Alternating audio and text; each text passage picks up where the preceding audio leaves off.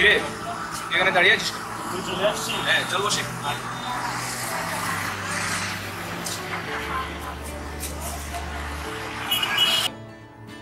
আচ্ছা আমি আসার পর থেকেই দেখতেছি তুই মোবাইলটা নিয়েই ব্যস্ত আছিস। আচ্ছা তোর কি মন খারাপ? ওরে দোস্ত জীবনটা একবারে তেনা তেনা হয়ে গেছে। মানুষ কেন যে প্রেম করে আল্লাহ জানে। বুঝত তুই মনে বড় নাটকটা দেখোস না আরে বেটা আমি মরি আমার জ্বালায়। তুই আছিস তোর বড় ছেলে আমি কি যা বেটা বড় ছেলে নাটকটা দেখেও তুই কিছু শিখতে পারো দোস্ত এটা আগে বলো না কিসের এখনই বড় ছেলে যারা করছিস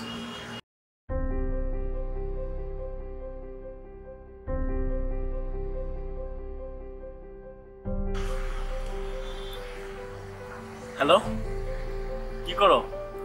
এই তো বসে আছি। তুমি কি করো বাবু? না তেমন কিছু না।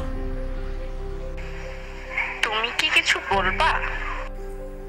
না মানে আমি বলতে চাইছিলাম তুমি তো জানো আমি আমার পরিবারের বড় ছেলে। বাবা মাকে আমার দেখতে হয় মায়ের কলেজের ফিস আমাকেই বহন করতে হয়। পুরো পরিবারটা আমার মুখের দিকে তাকিয়ে থাকে আমার উপর ডিপেন্ডেন্ট তাই না? ওয়েট ওয়েট ওয়েট তুমি কি বলতে চাচ্ছ? আমার মনে হয় আমাদের রিলেশনটা কন্টিনিউ করা হবে না। তুমি ভালো একটা ছেলে দেখে বিয়ে করে ফেলো। ওই ফকিন্নি তুই বড় ছেলে নাটক দেখছিস তাই না? শালা হারামি লুইচা বদমাইশ কুমড়া পটাশ। তুই আর জীবনে কোনোদিন আমাকে ফোন দিবি না রাবিস